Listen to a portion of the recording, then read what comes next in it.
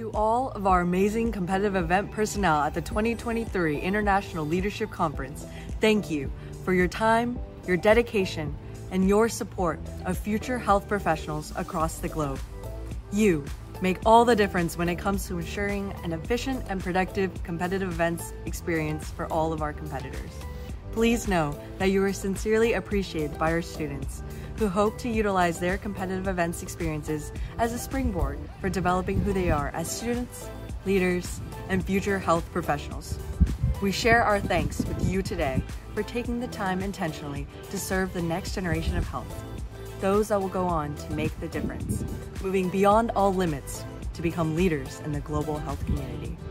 From all of us at HOSA Future Health Professionals to you, a very big thank you for the impact you have, and we can't wait to see you again next year at the 2024 International Leadership Conference in Houston, Texas.